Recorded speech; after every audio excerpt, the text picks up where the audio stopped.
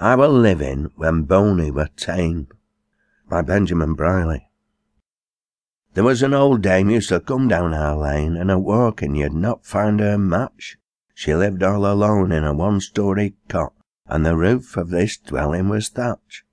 She knew not her age any more than the clock, but I were born on Good Friday, they sayin', and somewhere about time at Thembargo were kilt, but I were living when Boney were ta'en.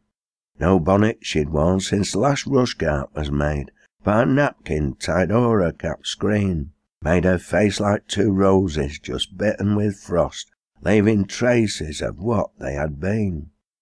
You've seen something, Betty, the neighbours would say. Aye, more than I want to see again.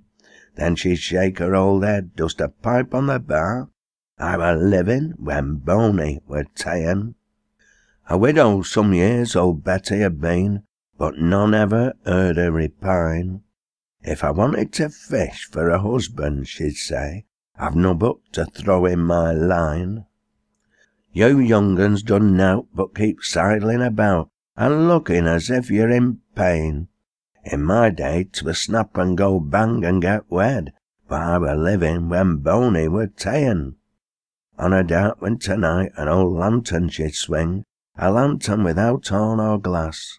If the wind blew the light out, as oft was the case, she'd say, Drat you lads, let me pass. If she'd rubbed against a stump in the darkness, she'd say, Now, Jamie, thou art orvish, it's plain, but hast never end me wits with a monkey like thee. I were living when Boney were ta'en. For singing and dancing oh, old Betty'd no match, though only one song could she sing. It was of one Chinaman, twinkle tum twang, and the chorus was ding a ding ding. This song was she hum at from morning till night, then up with the layrock again. And if her voice failed, ah well, she would say, I were living when Boney were ta'en. Old Betty with living alone was afraid lest thieves might her front door assail.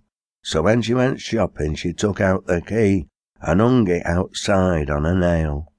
But poor old Betty, she could not get warm, that winter the snow filled the lane. Then she said if old Jack comes again he may sit, he were living when Boney were ta'en.